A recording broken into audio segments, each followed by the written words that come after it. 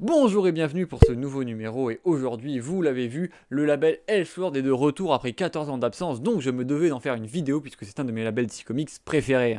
Et pour ceux qui ne connaissent pas du tout le principe d'un Elseworld, eh c'est un peu comme un what if chez Marvel. Le principe c'est qu'on va prendre un élément du coup de la chronologie, un événement important de l'univers DC Comics, qu'on va le changer et qu'on va voir qu'est-ce qui se passe après. Et le premier comics à reprendre ce principe pour vous illustrer du coup, c'est Go Time by Gaslight, du coup dessiné d'ailleurs par Mike Mignola, qui nous présente donc finalement un Batman à l'ère victorienne du coup à la fin du 19e siècle et qui d'ailleurs va traquer Jack l'éventreur, donc c'est plutôt cool, et c'est d'ailleurs un très très bon comics. Mais le premier comics à véritablement sortir sous ce label, c'est Batman Holy Terror en 1991, qui est un comics, croyez-moi, qui est vraiment excellent. Il va nous présenter du coup l'univers DC Comics si les États-Unis régnaient de manière hégémonique sur le monde car ils auraient battu les Anglais lors euh, du coup de la guerre États-Unis-Angleterre. Voilà, il y a tard l'époque finalement. C'est vraiment excellent, c'est un très très bon comics. On voit les parents de Bruce Wayne assassinés pour des motifs politiques par un tribunal politique. C'est super cool. Enfin le, comics, hein, pas les tribunaux politiques évidemment. Mais le label Elseworld, c'est aussi plein d'autres bangers hein, comme par exemple Kingdom Come, vous connaissez forcément,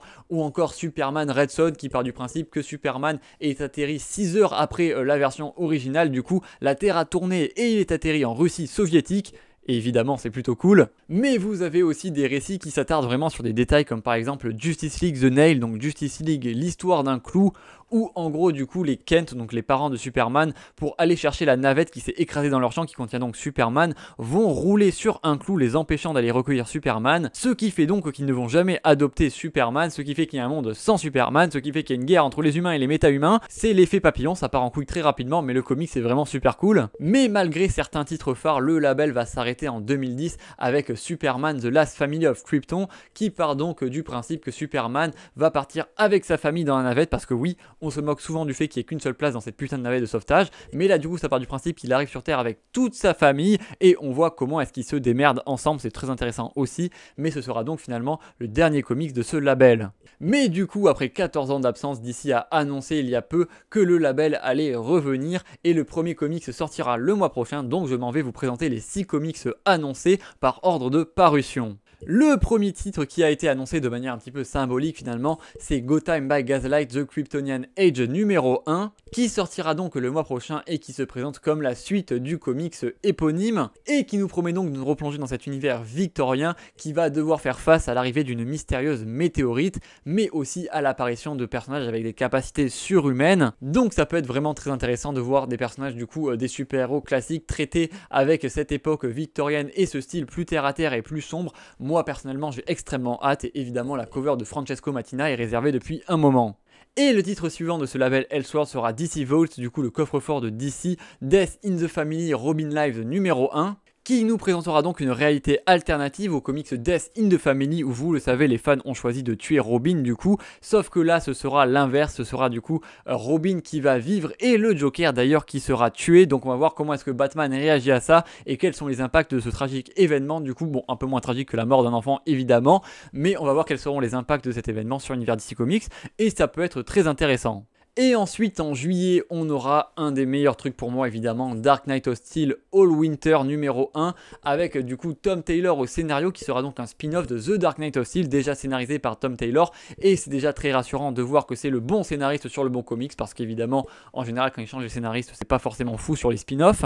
Et ce spin-off s'attardera donc sur un royaume qu'on ne connaît pas encore, un royaume différent des trois royaumes qui sont présents dans le comics principal. On suivra donc les aventures de Deathstroke en mode un peu viking ou nordique et évidemment la cover de Francesco Mattina est déjà réservée pour ma part. Et franchement, je sais pas qu'est-ce qui me hype le plus, mais en août, on aura le droit à la suite de ce comics absolument incroyable qui se nommera donc DC vs Vampire World War V. Ça va être un gros banger.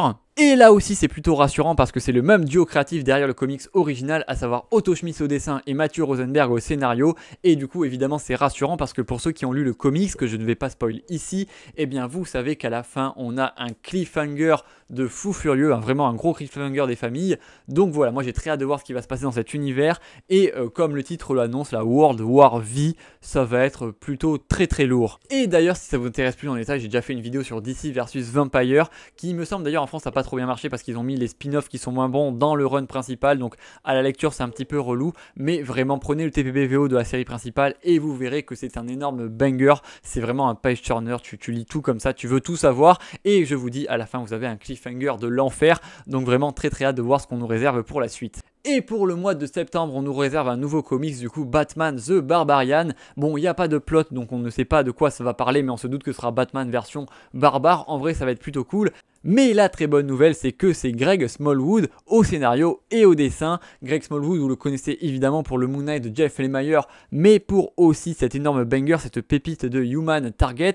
Il a d'ailleurs pris le Eisner Award, pour ceux qui ne connaissent pas, c'est les Oscars finalement des comics. Il a pris le Eisner Award du meilleur dessinateur sur une série limitée. Donc ce mec est beaucoup trop fort, il sait faire toutes les ambiances, il est vraiment, il a un panel finalement d'ambiance, de couleurs et de dessins qui est absolument incroyable. Je vous invite à lire Human Target si vous pas lu évidemment. Et du coup, c'est très très hâte de voir ce qu'il va nous proposer pour ce Batman. Et en octobre, ce sera le mois de Green Lantern puisqu'on va nous proposer Green Lantern The Dark. Alors on sait pas de quoi ça va parler, mais on sait que c'est Tate Brombal au scénario. Tate Brombal qui vous dit peut-être rien comme nom, mais qui est un scénariste qui a beaucoup travaillé avec James Iron Ford, notamment sur des comics indés qui sont excellents comme dit Audi Pedestrian Life of Christopher Chaos. J'ai réussi à le dire de premier coup, je suis extrêmement content. Mais du coup, plus sérieusement, c'est vraiment un mec qui est très très fort. Euh, vous avez Behold de Behemoth en 6 numéros qui est une série indé où il est solo au scénario et c'est vraiment une pure pépite, c'est vraiment un gros banger donc lisez-le, c'est très très cool. Et ça annonce vraiment bien sûr que du bon pour ce Green Lantern qui va du coup avoir le droit à son Elseworld, même si on sait pas trop de quoi ça va parler. J'ai quand même très très hâte finalement d'avoir plus de détails sur l'histoire. Et en novembre, ce sera le tour de Batman encore une fois, puisqu'on aura Batman Nightfire qui est le comics le plus intrigant pour moi, avec un duo créatif de fou furieux, parce qu'on aura Clayman et Setman qui vont nous faire les dessins et le scénario. Et pour ceux qui connaissent pas Clayman, déjà comment vous connaissez pas Clayman C'est le mec qui a fait notamment des covers de fou furieux sur Heroes in Crisis. Alors là, rien à voir, c'est une cover de Mitch Gerald, euh, mais euh, les covers sont de cet acabit, elles sont incroyables. Heroes in Crisis, c'est vraiment un comics de fou furieux.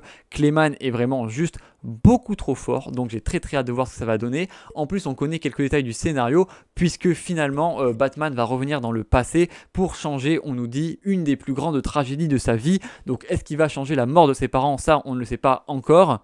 Mais en tout cas, on nous promet que ça va explorer les impacts de ce changement du coup dans euh, l'univers, les impacts sur Batman et sur l'univers que ça va avoir. Donc franchement, j'ai très très hâte de voir. Rien que le titre Nightfire est beaucoup trop stylé. Donc moi, prenez tout mon argent. Et merci à tous d'avoir regardé cette vidéo, j'espère que vous aura plu, le concept est un petit peu plus simple que d'habitude, hein, voilà.